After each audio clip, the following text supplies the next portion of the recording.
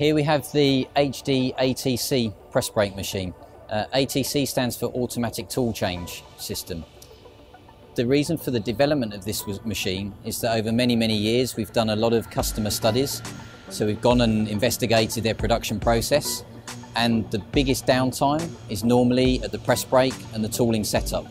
So one operator may finish one job, remove all the tools, find the next tools, load them in. Sometimes this can take 30, 40 minutes if it's a complicated setup. So it's a lot of time the machine isn't producing any parts or making any money. So we developed the ATC machine, which allows us to automatically change tools and dies, uh, and it can go from one full setup to a completely new full setup in less than two minutes. And in this time, the operator can be finding the parts for the next job, load the program in. When he comes back to the machine, the new tools are ready. It's particularly useful for very complex setups, or if the customer wants to run many parts with a single setup as well. So we would use our offline programming software to automatically create a setup that could maybe process five, six, seven different parts with one single setup.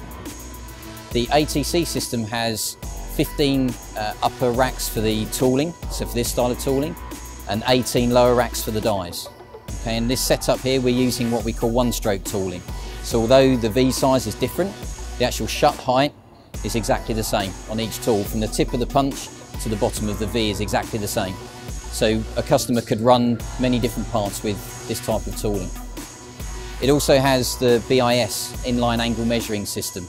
So if a customer wants to make sure their first off is correct, so they produce no scrap, they can activate this system and it will automatically check the angle as it folds it and correct it until it gets the right angle and then it will store this information. But it can be used on every fold or it can be used on every 10 parts as a quality check for instance. So on the first part it checks, it turns itself off. After 10 parts it turns itself on again just to check that the quality is still the same. And this is really useful if you're swapping between different batches of material. The thickness may change very slightly, but a very small change in thickness makes a bigger angle deviation. Uh, so this system will come into operation and it will check the part and make sure it's always the correct angle. The HD press brake, the HD stands for hybrid drive. And again, this fits in with Amada's eco philosophy. When the machine is not being used, for instance, when it's stood idle now, the drives are not running. They only actually get activated when you put the foot on the pedal. The drives will start, the machine will go into motion, and as soon as you stop folding, the drives will stop as well. So it drastically reduces the amount of power that the machine draws. Really the people that buy this type of machine are those that do the smaller batch work and they find that they're doing a lot of tool changing. They may find in an eight hour shift that maybe half of this is taken over by tool changing.